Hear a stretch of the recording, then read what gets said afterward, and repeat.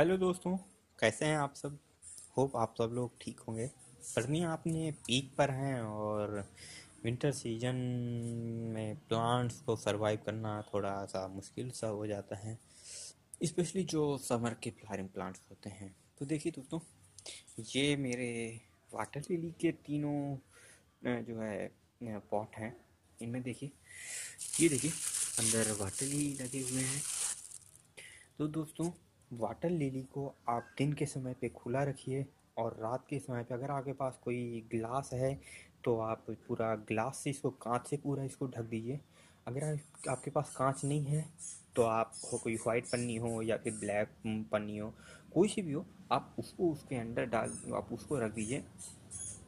उस उससे तो उसको ढक दीजिए अपने सारे पॉट्स को ताकि जो उनके अंदर जो गर्मी बनी रहेगी जो गर्मी होगी, वो गर्मी बनी रहेगी। बाहर के उतना ज़्यादा इफ़ेक्ट नहीं पड़ेगा। आपके प्लांट्स बिल्कुल एज इट इज़ सेफ़ रहेंगे। देखिए, जैसे मैं आपको फॉर एग्जांपल दिखाता हूँ। ये देखिए ये देखिए। ये मेरा प्लांट देखिए लीफ देखिए थोड़ी थोड़ी जो है येलोइश होना स्टार्ट हो गई हैं। बट एज नाउ ये अभी ठीक ही है। और आप देखेंगे तो इसमें ये एक बर्ड थी। ये देखिए, जो अब डेड होने की करार में है। एक ये छोटा सा देखिए लिलियम जो है प्लांट तैयार हो रहा है। ये देखिए, इसमें तैयार रहा है, इसमें कई सारे तैयार हुए हैं। और देखिए, ये मेरा जो है ब्लू कलर, ये मेरा ब्लू कलर में है, इसका नाम नहीं मालूम। एक ये जो है ब्लू लिली की किंग ऑफ़ सैम वेराइटी जो होती है वो वाली वेराइटी है ये।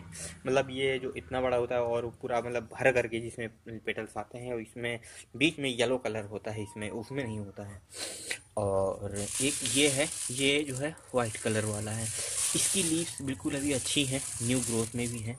मैं डिस्टर्ब नहीं करना चाह रहा हूँ। रेस्ट पीरियड में है, तभी सोता रहे।